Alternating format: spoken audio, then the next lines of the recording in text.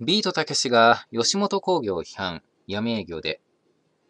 昨日放送された TBS の新情報セブンデイズニュースキャスターにて、ビートたけしさんが闇営業について次のような発言をいたしました。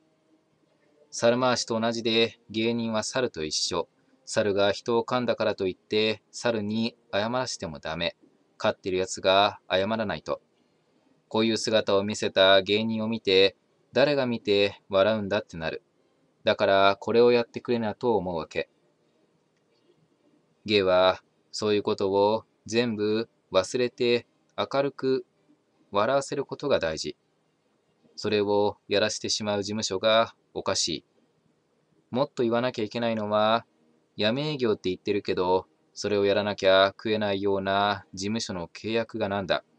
家族がいて食えないようにしたのは誰なんだと。だったら雇うな。最低保障くらいはしろよということですよと。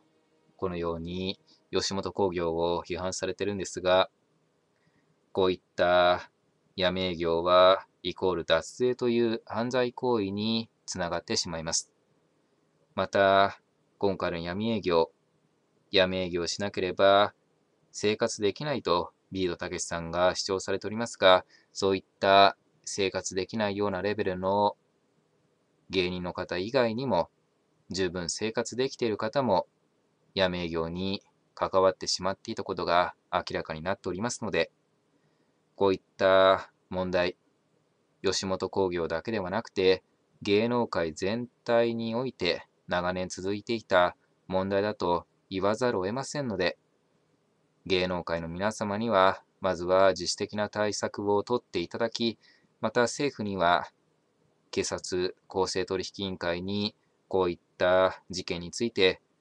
しっかりと捜査をさせるようにお願いいたします。以上になります。ご清聴いただきありがとうございました。